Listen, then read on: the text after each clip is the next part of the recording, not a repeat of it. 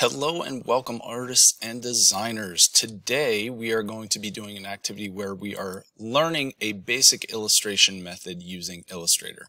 And the same basic method will apply to Photoshop and other uh, programs as well, just in a slightly different way. So essentially I'm just going to explain the layers here and what we're going to do and then we'll go over the techniques in another video. So right now when I look at my layers, we're going to have uh, about four different layers here. So I'll go ahead and hide everything.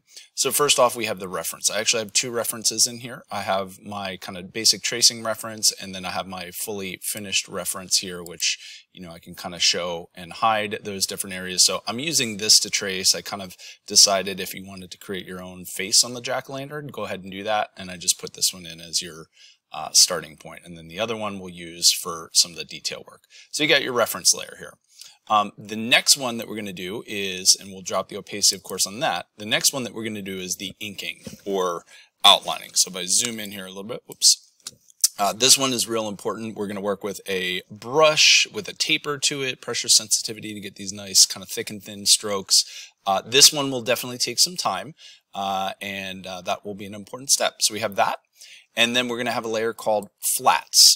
That's where we flatten the colors. So if I hide the inking, this is basically what that layer looks like. And we can do that with the pencil tool or the brush tool um, to fill that in, or the blob brush tool or the pencil tool will be our best methods for that. And then on top of that, we're going to have our details where we do our shading or highlights, which again, when you look at it this way, it doesn't look great, but once you put your inking on that, it really looks pretty good. So that's the basic idea here of what we're doing. Um, so we'll go through those steps uh, in our next video here, but that's the essential overall project that we're going to work on here is our reference layer, our inking layer, our flats for colors, and then our detail area there. Uh, so we'll go ahead in that next video and dive in and learn how to do some of these things. So good luck, guys.